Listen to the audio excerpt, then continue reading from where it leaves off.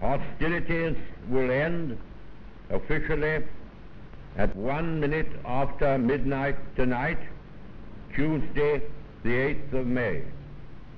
We may allow ourselves a brief period of rejoicing.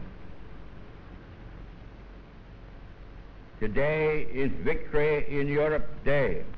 Long live the cause of freedom. God save the King.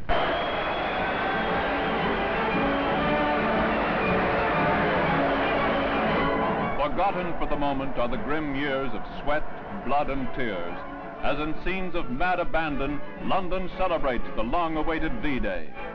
The disastrous months of 1940 are far, far away. The horrors of threatened invasion and blitz bombing are mere specters of the past. Shoulder to shoulder, civilians, workmen, housewives, and service people of the far-flung empire have made this day possible. They have the right to celebrate. They wear the mantle of victory.